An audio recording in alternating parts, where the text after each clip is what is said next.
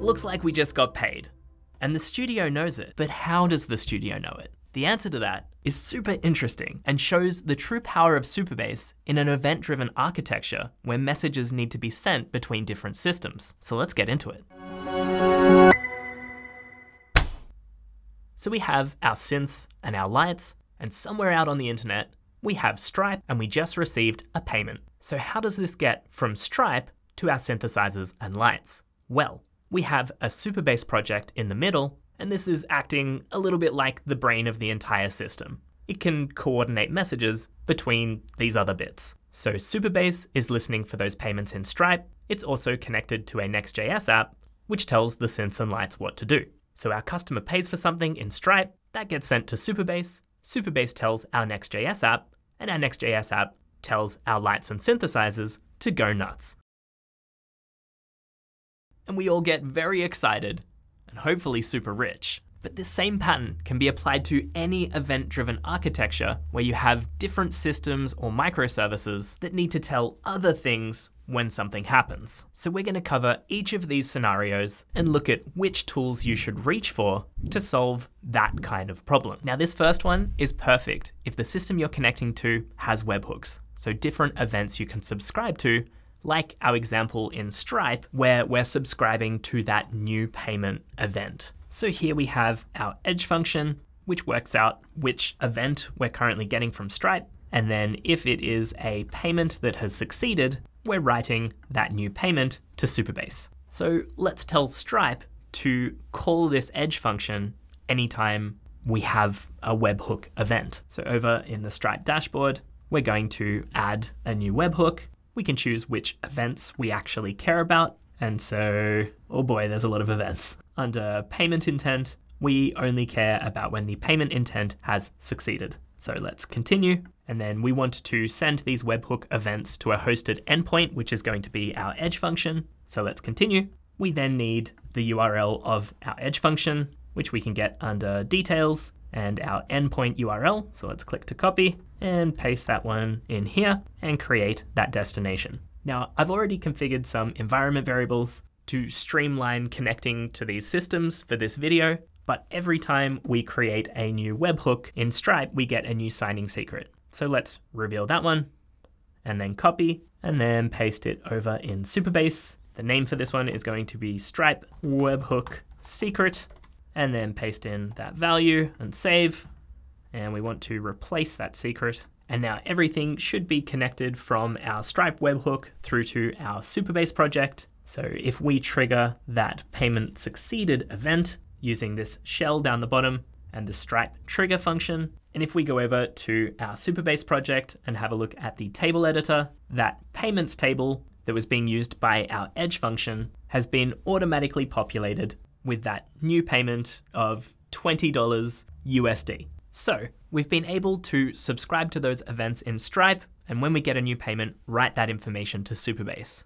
But again, this only works if that system has webhooks. But what if it just has an API that you need to poll constantly for changes. A good example of this is the YouTube API. Let's say we also want a big celebration of flashing lights and synthesizers anytime we get a new subscriber in YouTube. There's no way for us to subscribe to those new subscriber events with the YouTube API. We just have to keep polling and asking, has anything changed? Has anything changed? And so let's look at how you would handle that scenario where you don't have a webhook that you can subscribe to. So again, we're going to use an edge function for this. This one is making a fetch request to the YouTube API and then pulling out the subscriber count from that response and writing it to Supabase. But we don't want to have to manually invoke this edge function. We want it to automatically be called on some kind of recurring schedule. And for that,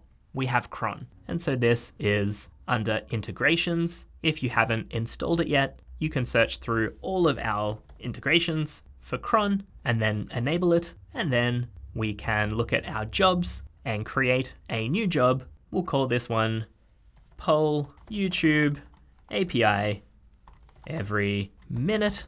We can then write this intimidating looking expression if you understand cron schedules, or you can use natural language to describe it. So let's say every minute, which conveniently is just star, star, star, star, star. We then have different actions that we can perform every minute. And so we want to call our Supabase edge function. We then get a list of our different edge functions that we could call. For this one, we want to get our YouTube stats. And then when we create this cron job, it's going to automatically run every minute. So if we have a look over at the table editor and our YouTube stats, we've currently got our subscribers set to 50. Pretty low, I know, but I think in about a minute, we might get 60,000 or so. And so let's refresh this table. And there we go 62,700 subscribers in just one minute. That's pretty incredible. So we know when we get new subscribers in YouTube, and we know when we get new payments in Stripe. But what if we want to send that information to another system? So we want the rest of the team to be able to celebrate when we get a new payment in Stripe or a new subscriber on YouTube. Let's post it to the company Slack so we can all share in that celebration. And for that, Supabase has its own implementation of webhooks. So whenever something changes in Supabase, we can call another external endpoint somewhere else, like the Slack API, for example, which is exactly what this Edge function does right here. Hopefully you're starting to get like how powerful Edge functions are and how much they are like the glue that stick all of these other pieces of Supabase together. So when a new record gets added to the payments table, we'll do a little bit of formatting of our message so it includes the amount of that payment and also the currency. We then make a fetch call to the Slack webhook URL and pass across that payload. So we want to automatically call this edge function anytime we add a new row to the payments table. So again, under integrations, we have database webhooks, or you can search for it if you haven't installed it yet. But once it's installed, we can create a new webhook that will send payment to Slack. We give it the table that we want to listen to. So in this case, our payments table. We can then subscribe to particular events, so insert, update, or delete. We're inserting a new row for each payment. So we only really care about the insert event. And again, we have a couple of different actions that we can perform. Since we have our edge function that's doing that nice formatting of our message, that's the one we want to call. So the Slack Messenger edge function. So let's create that webhook. And now when we trigger that payment in Stripe, I legitimately forgot that was going to happen. Uh, we get the light show, we get the sound show, and we also get a new payment message, and that message is automatically posted to our Slack channel so the rest of the team can celebrate with us. So, lastly, the super fun bit that makes the studio dance is using real-time to subscribe our client applications to any of those changes in Supabase. So when we get that new payment from Stripe, we want to tell our Next.js app that something has happened. And this is our Next.js application. It's subscribing to changes in Postgres, specifically on the payments table and the insert event. So anytime a new payment is inserted, this function will be called, which plays MIDI notes and toggles the lights. To play the MIDI notes, we're using the Web MIDI API to iterate over all of our MIDI devices, and for each one, tell it to play this ridiculous chord, and then after five seconds, tell them all to stop playing. And we're doing a similar pattern for how we make the lights flash. So let's see it one more time when we receive a new payment in Stripe.